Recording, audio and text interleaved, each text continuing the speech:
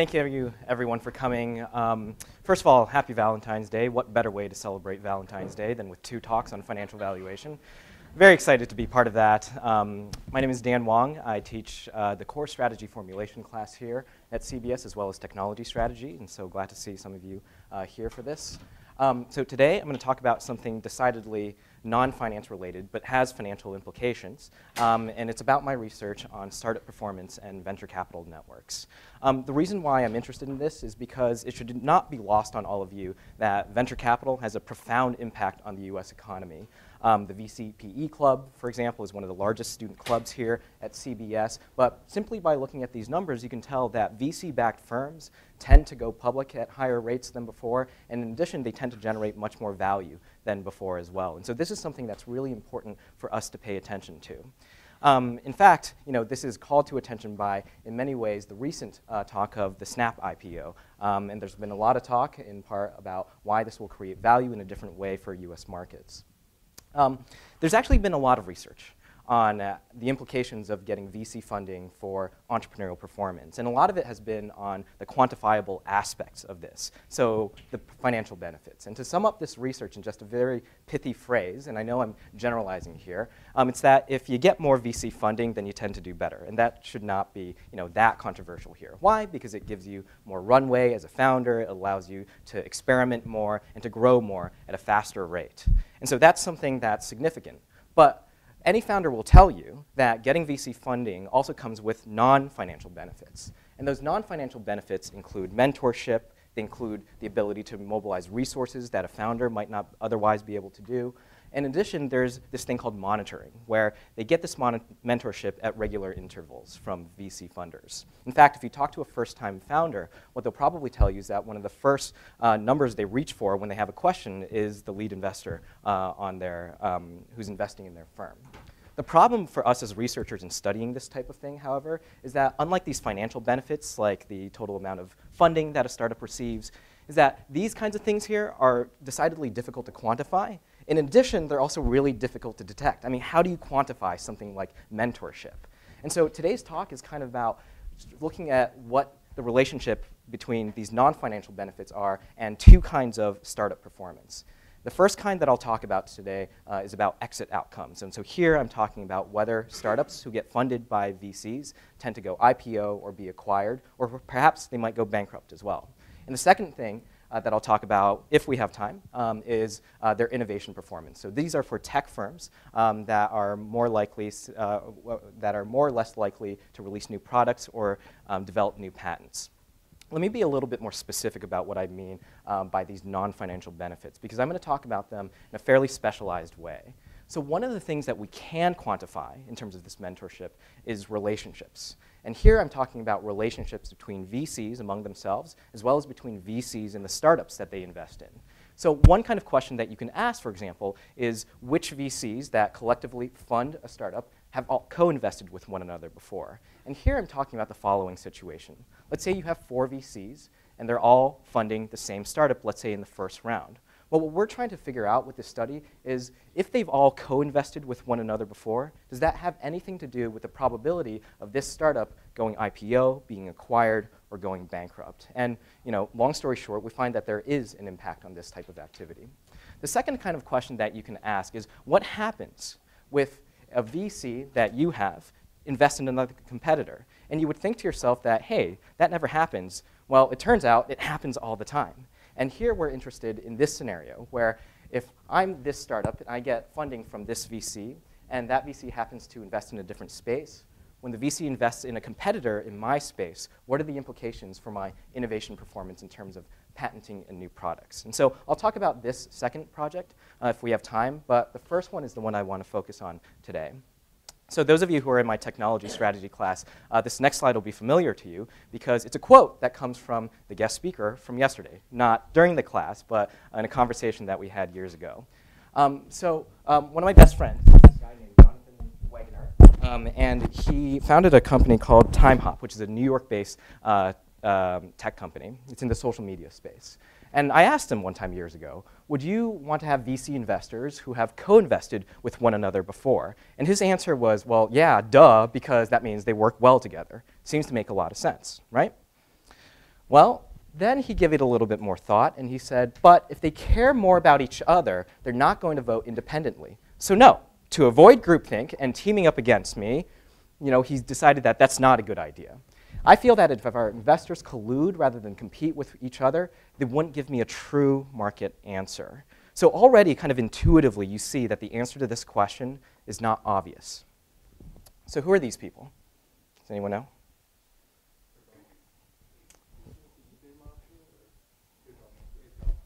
PayPal Mafia.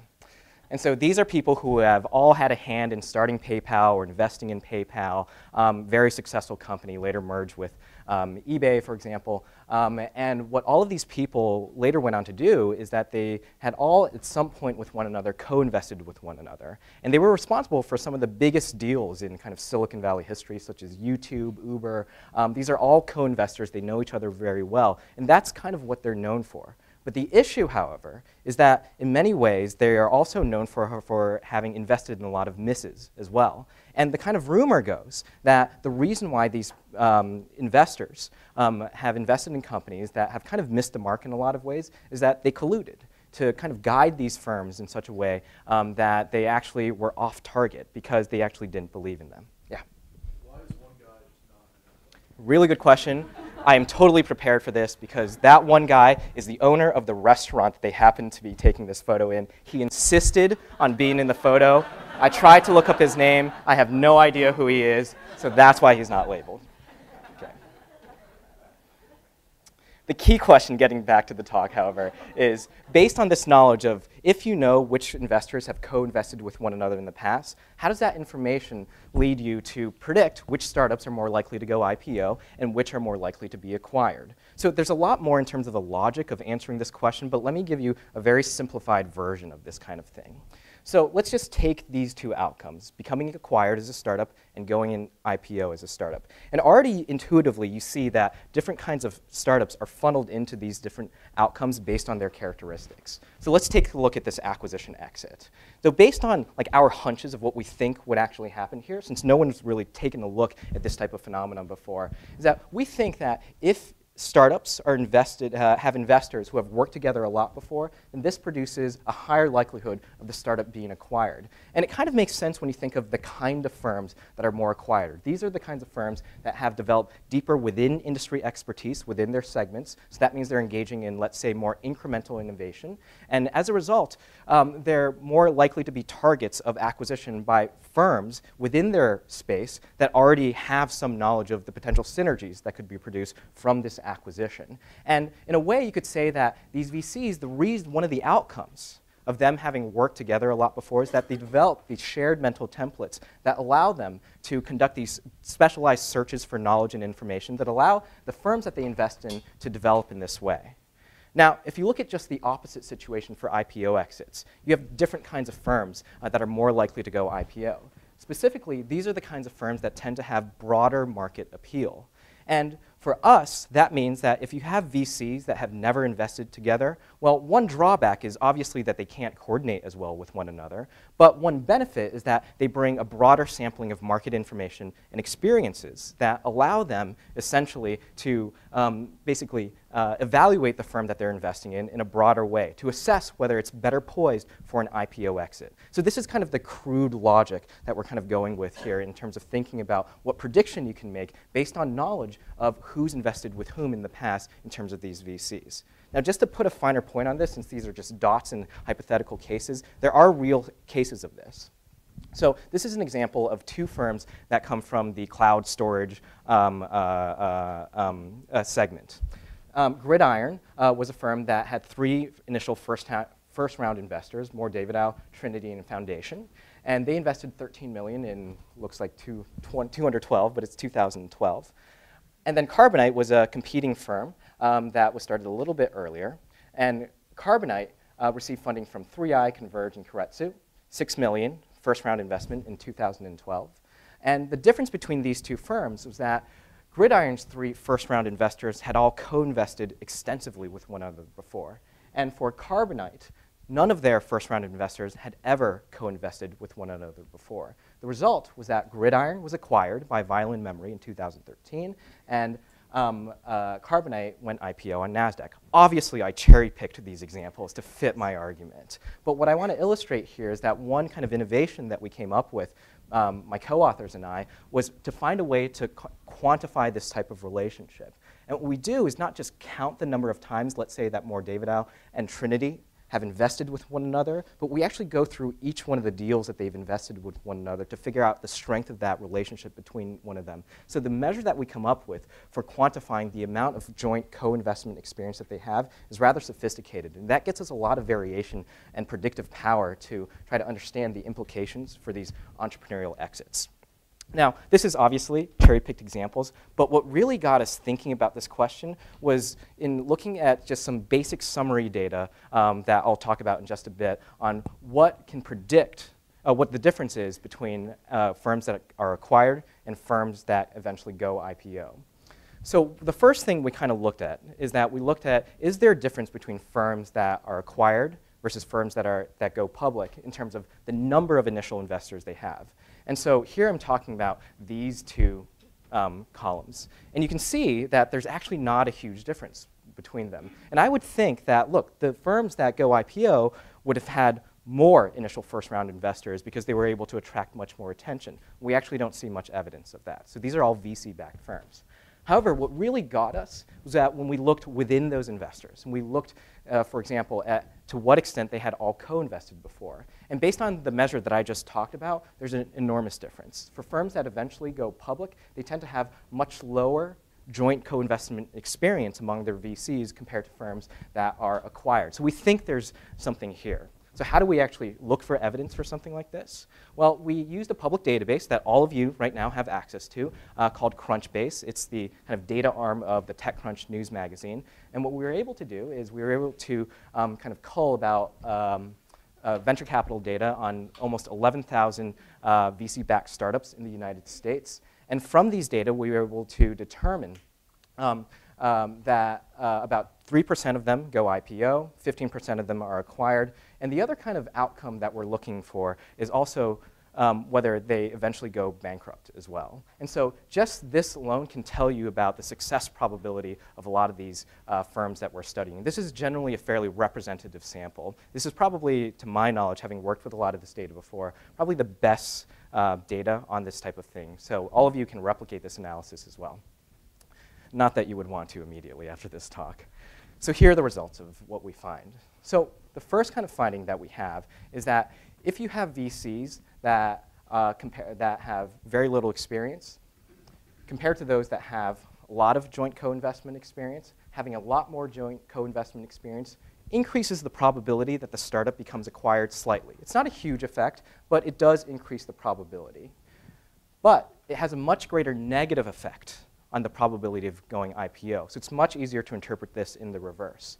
So compared to having uh, VCs that have a lot of joint experience co-investing, those that have VCs that have never co-invested with one another have a higher chance of going IPO. So already you kind of see this risk and reward trade-off uh, when it comes to taking money from VCs that have uh, worked with each other before and those that haven't. Now what's really interesting, however, is that if you look at this graph, you would think to yourself, oh, well, obviously the choice is to go here because um, if I, because you know, an acquisition premium is probably not that big compared to what an IPO premium would be. But the thing is, there's a third outcome that I mentioned as well. And that third outcome is the probability of going bankrupt. And here, the issue is that if you have more VCs that have more joint co-investment ex experience, although it lowers your probability of going IPO if you're a startup. It dramatically lowers your probability of going bankrupt. So again, this risk-reward thing um, is appearing again.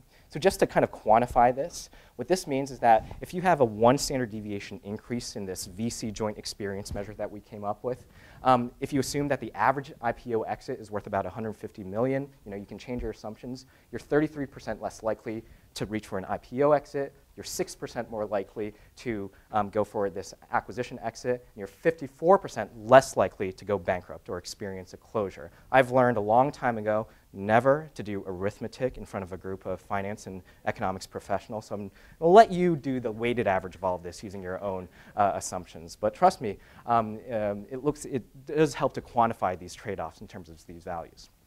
Now, the one thing that you can say about this is that there's something fishing going on here. And I would completely agree with you because you can't trust these results. Why? Because of three problems. The first problem is something called selection bias. And that means that we're only looking at firms that have received VC funding, and we're not considering what about these firms that never received VC funding but could have received VC funding? What about the factors that influence those firms?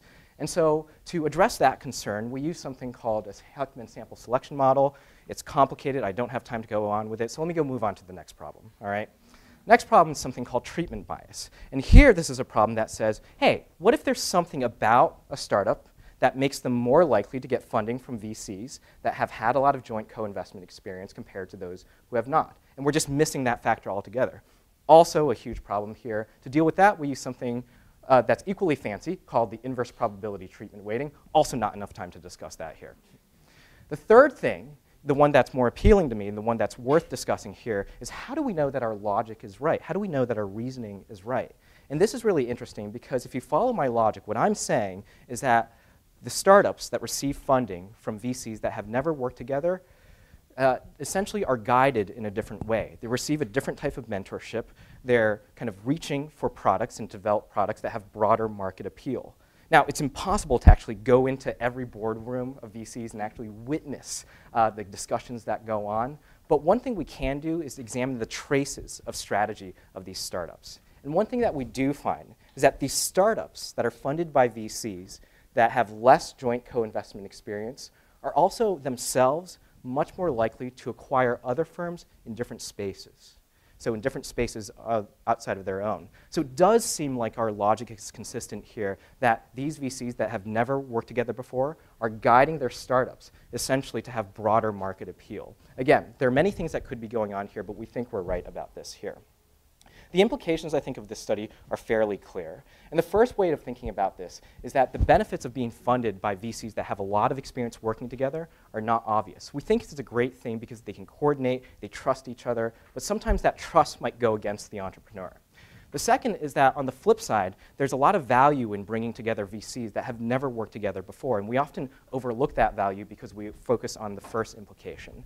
And that kind of value has to do with the broader sampling of market information that might inform an exit decision uh, that's potentially far more profitable. And the third, I think, is that if you look at you know, the kind of studies that we're doing here, they focus on all this non-financial information. And there's a big chunk of data that's available out there uh, for you um, as uh, individuals who are potentially going on to add value to investment firms to consider when making these types of predictions. So I think I have, do I have enough time to kind of finish? Okay, so I want to take just three minutes to tell you about this other kind of study that we've done along a similar way. So the other kind of study that we're looking at here is just the opposite. So the question is, what happens if, what happens if I'm a startup and my investor invests in a competing startup. And you could say that this is a good thing or it could be a bad thing. But the thing is, it happens all the time. So this is a graph that comes from CB Insights, an email newsletter that's really interesting about um, um, VC investing in startups. And what it's showing you is the investors that have all um, invested, VC firms that have all invested in the ride-sharing space. And what becomes apparent is that they're all investing in these different competitors. And so you would think that you would have different islands of investors investing in these different companies, but in fact, that's not the case. There's a lot of cross-investing uh, between investors. So how do we address this type of issue, and how do we actually determine what's going on? The study that we did um, about a year ago has to do with something called the minimally invasive, invasive medical devices industry. And here we looked at 175 VC-backed um, of these firms. And what the question we asked is what happens when your VCs invest in a competitor? And in this space, the kind of competitors I'm talking about are those who are operating in the very same specialized subsegment. So if you thought that minimally invasive medical devices was narrow enough as a subsegment, well, there are even subsegments in between uh, within this industry. And so this would be the case if a VC invested another, in another firm in the cardiology space if I were in cardiology. And the results are fairly simple here. So we have this situation where I receive funding from a VC, and then the VC decides to invest in my competitor in the same space. What we find is that this leads to a 10% decrease in the amount of new product introductions and new patents that I put out in a given year. And the reasoning that we have is because, well, in many ways, these VCs are leaking knowledge from me to my competitor, withholding resources. It's almost this zero-sum game that the VC is playing. The thing is, it gets even worse if, for example, I were the first investment in the space and the second was my competitor. We call this the guinea pig effect. And it's even worse for me if my competitor receives more funding than me. We call that the teacher's pet effect. In that case, the competitor would be the teacher's pet. So in kind of taking these two studies together, um, the main takeaway that I want all of you to see here is that VCs tend to influence these startups in ways that have nothing to do with um, uh, kind of financial runway or very little to do with this kind of stuff. And with the data that we have coming out now, we can actually begin to explore the impact of these behavioral elements um, that influence financial performance. Okay, thank you very much. And uh, these are some papers